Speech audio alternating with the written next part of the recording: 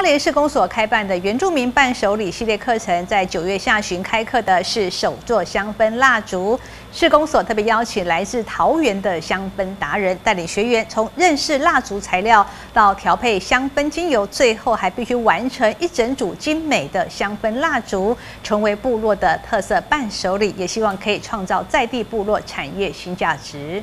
一盒一盒美丽的干燥花，还有色彩鲜艳的蜡烛块，以及浪漫迷人的香氛精油。这是花莲市公所开办的原住民伴手礼研习课程当中的首座香氛蜡烛。市长魏家贤在开课这一天也特别前往致意，希望学员们可以认真学习，未来有机会制作出最具特色的部落伴手礼。是我们开办的呃香氛蜡烛的一个课程哈。那我们特别请到在桃园的非常有名的老师，新彤老师跟秀贤老师，那他们在北部都有相关的工作室，那也走的是韩系的一个风格。那我们希望能够引进到花莲这里，给我们原住民部落的呃家人们哈，都一起学习相关的一个呃非常跟北部非常流行的一个香氛蜡烛。那也希望透过一般的课程来加入原住民的元素，让大朋友小朋友都非常喜欢。那未来我们会朝向伴手礼的方向来呃前进。那我们希望说这些学员学回去之后，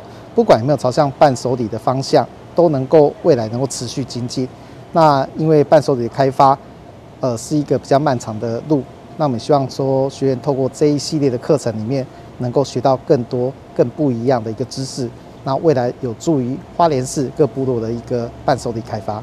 花莲施工所这一次特别聘请到来自桃园的格马兰族香氛达人到花莲来带领乡亲学习手做蜡烛，从认识蜡烛材料、蜡烛调色技巧、精油蜡烛配香比例，还有教大家来认识韩国精油香水香氛线香，最后大家还必须要完成一整组的花朵香氛蜡烛盒。市长吴家贤希望学员们能够学得专业技能，不止可以美化居家环境，未来也希望可以成为部落伴手礼，来创造部落产业新经济。